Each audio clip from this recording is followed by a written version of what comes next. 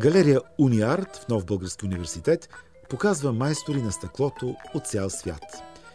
Под избраните произведения от Международното биенаре на стъклото стоят имената както на изтъкнати творци в тази сфера, така и на те първа прохождащи български студенти.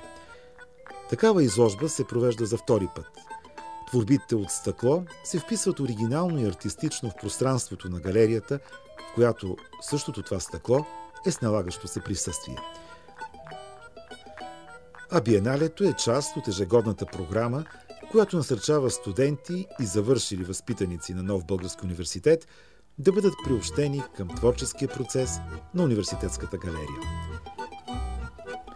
С усилията на професор Константин Вълчев, преподавател по художествено стъкло в департамент Изящни изкуства на университета, се свързват много открояващи се прояви през последните години, представящи необозримият артистичен свят на този магически материал – стъклото.